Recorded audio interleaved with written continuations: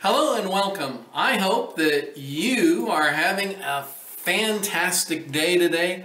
We've got a great show prepared for you. I don't know if you've been in the cryptocurrency industry or market for years or if you've only been involved with it for days and weeks. I got asked a question on Saturday from somebody that was brand new in cryptocurrency and they asked me, is this a correction? And what had happened was on Saturday, we saw a drop in the price of Bitcoin, but it pretty quickly recovered. Not 100%, but very close to where it was before. And so I had to pause. I looked at the charts and I thought, you know what? I need more information. I need to wait and see what happens before I figure out, is this a blip, a correction, or a crash? So let's get into it. Let's talk about what is a blip, what is a correction, what is a crash when it comes to cryptocurrency. So I think you're going to find this incredibly useful, but let's get into it. Now this is my website, lumin8crypto.com, and that is not what I was trying to do. Let me go over here, grab this one. Lumin8Crypto.com is my website. I hope that you'll visit us on the internet. If you do, scroll down to the bottom, uh, join our email list, and we will send you private invites as we have different uh, cryptocurrency webinars and cryptocurrency online uh, sessions so that you can learn more about cryptocurrency and we can have an online discussion about it. I think you'll find it really, really useful. Our website and our YouTube channel is uh, here to give you ideas to help you take profits and avoid losses. So like, subscribe, and hodl. Now, I'm not a financial advisor. My background is not finance. My background is computer programming. So what we're going to talk about today is not financial advice. I'm going to give you my opinion. I'm going to give you the way I think and look at things I hope that you find it useful. As always, cryptocurrency involves substantial risk of loss and is not suitable for every investor. Please read the rest of this paragraph. It's great advice no matter what you're investing in, but it is written specifically for cryptocurrency. Now, was that a blip, a correction, or a crash? Before we answer that, I want you to know I'm going to talk about Bitcoin in particular. I don't know why it chose that particular outline. I had this one selected. So actually I didn't have the green one. I had the orange one because orange is a lot more noticeable on the green. So uh, I'm going to talk about Bitcoin today, but what we're going to talk about applies to any of the other cryptocurrencies out there the reason why we're talking about Bitcoin is because typically when Bitcoin is green, just like you see from this diagram, this chart, uh, all the other cryptocurrencies tend to be also uh, in the positive. And when Bitcoin is crashing, everything else tends to crash as, all, as well. But when you're trying to identify is any specific cryptocurrency encountering a blip, a correction, or a crash, the same principles will apply to it as well. Now before I go on, I do want to let you know where you can find this chart so that any moment in time you can kind of get an idea of what is the overall cryptocurrency market doing. This is coin360.com. It's coin360.com and I use it a lot. I recommend it. I think it's a good website. It gives you a very, very fast very quick way of figuring out where is the cryptocurrency market at this moment. So, at this moment, or I should say a few moments ago, this chart was screenshot and I wanted to show this to you because Bitcoin just hit $40,000, a brand new all-time high. It had never seen $40,000 this particular chart is a five minute chart and you can see that each one of these red bars and the green bars is five minutes of time. Now Bitcoin dropped from $40,000 all the way down to $36,000, a 10% drop in a matter of about 35 minutes. Wow, that was fast. The question that we have to ask though, is this a blip, a correction, or a crash? And at the moment, I don't have enough information to answer that question. I need to see what happens after this. It might be a blip, especially if the price goes right back up here to the $40,000 price range. So far, ever since this happened, the price has been kind of hovering in this $38,000 price range. So it, it, really depends if it if it stays at the 38,000, I'm going to lean towards calling it a blip. If it drops more, I'm going to call it a correction or possibly a crash. If it gets above the $40,000 price where it had just touched, in fact 40,000 is right there. If it gets above 40,000 then obviously it was just a blip. It just was a temporary pause. People saw that Bitcoin hit 40 grand and they decided, you know what, I'm going to take some profit. And they sold some or all of their cryptocurrency right at that $40,000 price point. And, um, and that it was because of all the people selling when it hit 40,000 that it did this move. The real question is, is, is it, is it going to recover from there or is it going to continue down? So I've kind of hit that a little bit. Let's go to the next chart. This is when that person asked me the question on Saturday. This is the 15 minute chart and so this was Saturday, January 4th of 2021 and you can see the price tanked pretty rapidly. These are 15 minute tick, tick marks and so within an hour or two it, the price had dropped from 33,500 all the way down to 28,500 and so it, it's a it's about a $5,000 price drop that's more than 10% in a couple of hours period of time. Now, when the person asked me, is this a correction? I didn't answer right away because I wasn't sure. I wanted to give it more time to see what actually happened. You can see that it kind of went sideways right afterwards. It recovered a good portion and then it started going sideways. But over Sunday and then into Monday, it, it went way past uh, this this price range here. And so it definitely was just a blip in the grand scheme of things. But sometimes to make these decisions you just have to give it time. Now we've talked about what is a blip. Let's look at what is a correction. Now some people especially in stocks in stocks they might call what I'm about to talk to you about as more of a crash um, but I'm going to view more of a crash with cryptocurrency as, as more long-term um, and more dramatic than what we're about to look at.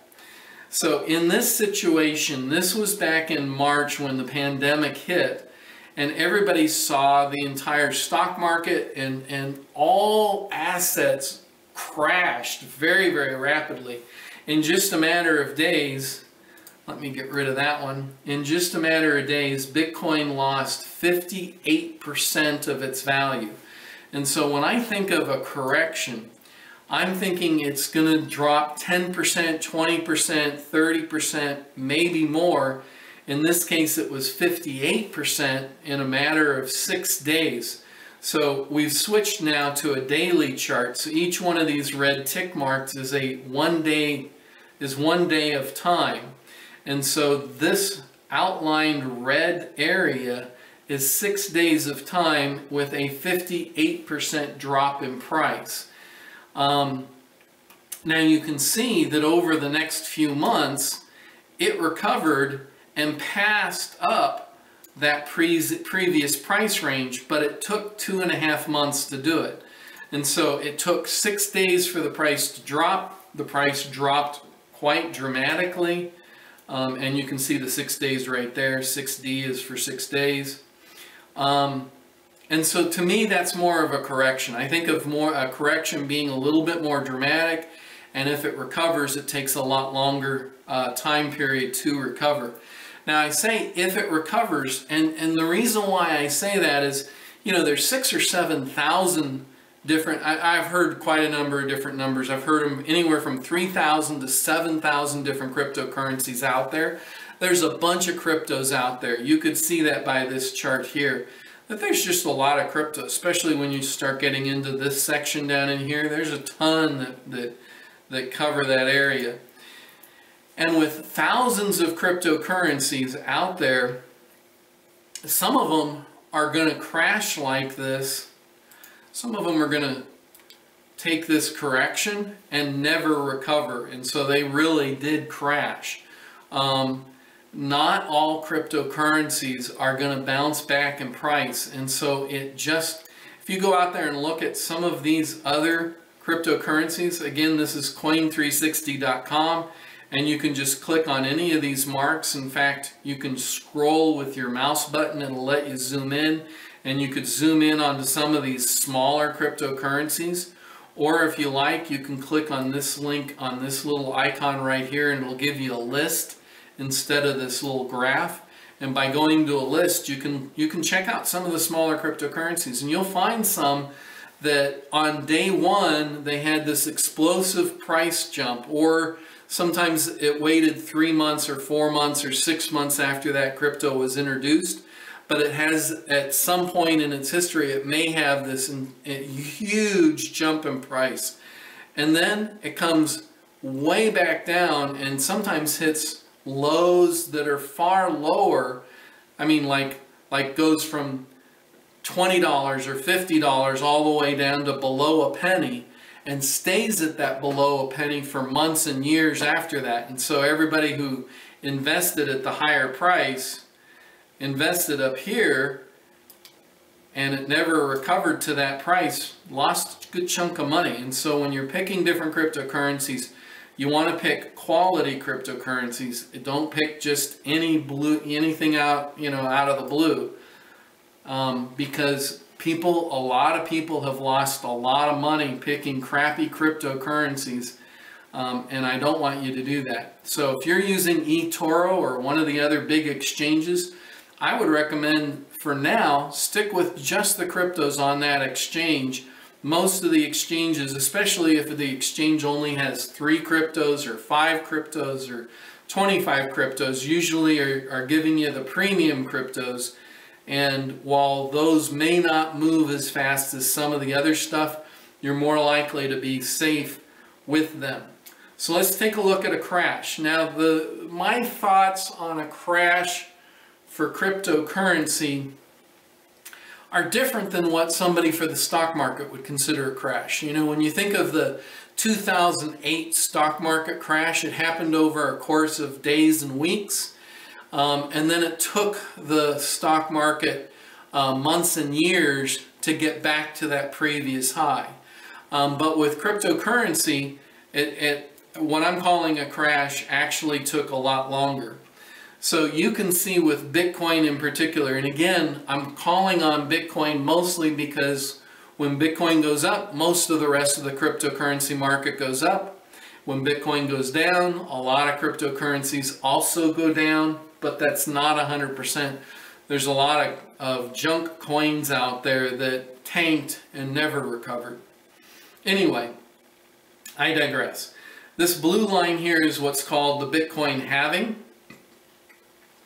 Bitcoin does this, some of the other cryptocurrencies do this, but not all cryptocurrencies have a halving. And what it means to have a halving is every time you see this blue line, so here's the first blue line, second blue line, third blue line, that's a particular date. And on that date, the amount of new Bitcoin created was cut in half. And so back in this area, uh, Bitcoin was creating 25 new Bitcoins every time a block was added to the uh, blockchain. And in this section here, let me see if I can, no, it's not letting me. Let me draw a new one. So in this section here, there was uh, 12 and a half, sorry, the first section was 50. This section here is 25. This section here was 12 and a half. And then this current section, it's not letting me shrink it. This current section right in here, we're now down to six and a quarter Bitcoins created every time a new block is added to the blockchain. And so the miners have had their rewards cut dramatically, but also the new Bitcoin getting created has also dropped by 50%. Now that is a forced scarcity that's been forced into the Bitcoin market. And every time a new halving has happened, in the past we've seen a year-long bull run. So in this particular chart, each, each tick mark represents an entire month of time. And, and from this edge where the blue line is to this spot here where the top of the green bar is, where it hit a new all-time high is about 12 months. And you can see here that we have about the same thing, about a 12-month bull run. And so in my opinion, and this is my opinion, not financial advice, I think we're going to have a similar situation where we go for another 12-month or so bull run. Time will tell, um, but you can see after each halving, Bitcoin skyrockets to a brand new all-time high, and then it tanks to a new low. Now this dropping in price, just like the bull run took one year, this bear market also is taking about a year.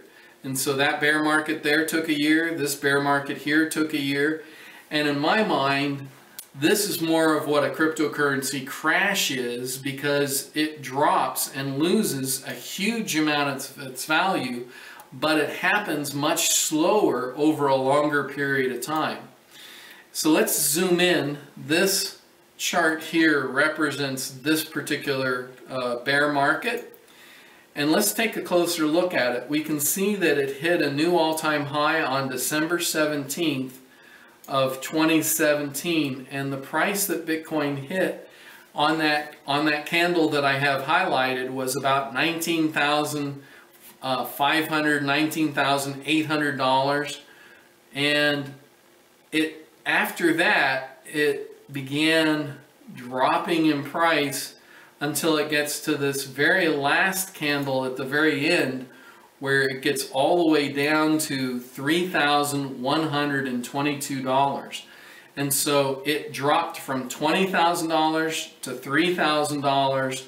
That is a loss of 84% of its overall value. And that loss happened over 364 days. Wow, it's one day shy of a full year. And so it, it's kind of interesting. I don't know why it took almost exactly a year. You can see during this bear market that Bitcoin still had some months where it showed some positive movement. I mean, we see some positive movement right there where it started moving up and then it tanks again. And then it moved up and then it tanks some more, moved up and tanked some more until it finally hit that low of $3,122. So to me, this is a cryptocurrency crash, and it's much longer term than what we've come to know from, you know, like the stock market and other markets.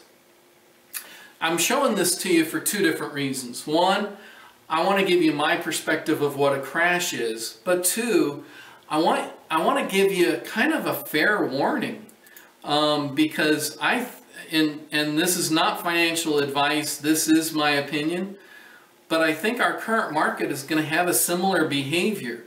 Here's kind of what, here's kind of how I, I view it. You know, you've got supply and demand, and it's kind of like a, a teeter-totter. You know, you've got a, you got a child on the left side, we'll call that child supply, and a child on the right-hand side, and we'll call that demand. And when the supply gets super scarce like it does with a halving, it, it forces the price up because there's fewer Bitcoins out there. And then demand starts increasing because people are saying, oh my gosh, look at how much the price went up. I want to get in on this too. And so that gets more and more people involved until it kind of gets to a point where it finally just simply gets exhausted. And when it gets exhausted, that's when it starts coming back down. And I think of it um, kind of like it's trying to find that equilibrium, but after the halving, it seems to take it two years to get to the equilibrium. The first year, it tends to go up. The second year, it tends to go down.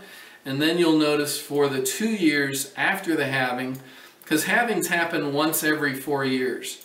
And so the two years after each halving, it's kind of like, okay, I found my equilibrium and it tends to go sideways with a little bit of up action as it, you know, the, the, the, the general trend of cryptocurrency, the general trend of Bitcoin has always been in an upward movement and some of that has just been cr the creation of new technology, you know, like um, the Bakkt exchange. It took them four years to build the Bakkt exchange. The Bakkt exchange, if you're not aware of it, is a joint venture between the company that owns the New York Stock Exchange, Microsoft, and Starbucks. The three of them came together as a team, and as a team, they built an exchange, a cryptocurrency exchange called BAKKT, Bakkt. That exchange went live about a year and three months ago. It was, I think it was September of uh, 2019, if I remember correctly that the Bakkt Exchange actually went live. The Bakkt Exchange is uh, designed more for institutional investors. If you're not investing a million dollars or more, I don't think you can actually get on the exchange and trade. But they do have an app for consumers that's quite interesting that lets you purchase cryptocurrency right off of their app. So anyway, I'm digressing. I'm getting into subjects that we're really not here to talk about. Let's complete this. So I have written an algorithm that uses mind-numbing math that helps me a whole lot to be profitable with my cryptocurrency trading. Um, you can copy all of my trades. It's kind of like, um, you know, those commercials where they show you the new food gadgets and tell you, hey, you can just set it and forget it. Well, it's the same way when you're copy trading. You can just set it and forget it and you'll automatically buy and sell cryptos based off of the advice of my trading program. I worked two years to build the trading program. I've spent thousands of hours perfecting it. Um, I'm still tweaking it, still trying to make it better because the cryptocurrency market is always changing. And so that out that uh, trading program can always be improved. The trading program uses mind-numbing math in order to make buy and sell recommendations with cryptocurrency. So if you decide you're interested, just go to this website on etoro.com slash people slash lumen 8 algo trader. Or you can also go to my website. I mentioned it earlier. And from my website, you can just click the eToro link right there. And that'll also take you straight to um, my copy trader uh, page on eToro. Now, at the moment, if you do not already have an eToro account, eToro is going to give you a $50 limited offer bonus.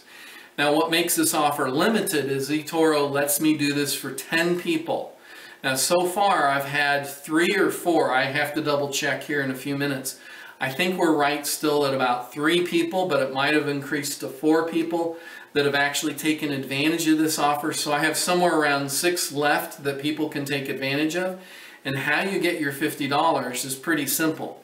You'll use this link here to go to eToro, etoro.tw slash 2SDIOMS, and then you need to deposit $200 or more and once you've deposited $200 or more, then you want to copy trade me with that $200. And by doing that, eToro will give you 50 bucks for your $200 investment. So it's a great way to give you a little bit of cushion when it comes to investing in cryptocurrency.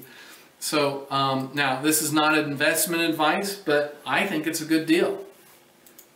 Finally, how can I be of service to you? Do you have questions? Do you have thoughts? Do you have comments?